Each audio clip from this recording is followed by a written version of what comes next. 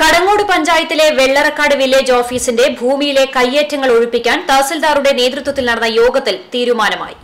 സ്വകാര്യ വ്യക്തികൾ കൈവശം വെച്ചിട്ടുള്ള ഭൂമി ഒഴിപ്പിക്കാതെ നടത്തിയിരുന്ന വില്ലേജ് ഓഫീസിന്റെ ചുറ്റുമതിൽ നിർമ്മാണം ബി ജെ പിയുടെ നേതൃത്വത്തിൽ തടഞ്ഞിരുന്നു. തുടർന്ന് ഗ്രാമപഞ്ചായത്തിലെ ബി ജെ പി അംഗം അഭിലാഷ് കടങ്ങോട് കുന്നംകുളം താലൂക്ക് ഓഫീസിൽ പരാതി നൽകിയതിന്റെ അടിസ്ഥാനത്തിലാണ് തഹസിൽദാർ പി എസ് സുനിലിന്റെ നേതൃത്വത്തിൽ വില്ലേജ് ഓഫീസിൽ പരാതിക്കാരുടെയും വിവിധ രാഷ്ട്രീയ പാർട്ടി നേതാക്കളുടെയും യോഗം വിളിച്ചു ചേർത്തത്.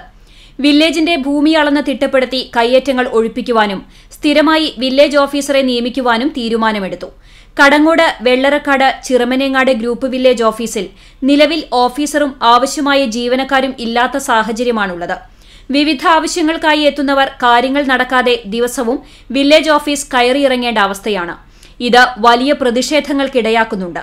യോഗത്തിൽ panchayat vice president P S Purushothaman അംഗം Abhilash Kadangode Udayan Mullappally A M Muhammad Kutty Sharafuddin Pannithadam T P Joseph P K Vinayakumar E Chandran Sathar Neendoor P V Krishnankutty തുടങ്ങിയവർ പങ്കെടുത്തു. CCTV news Erumapetty.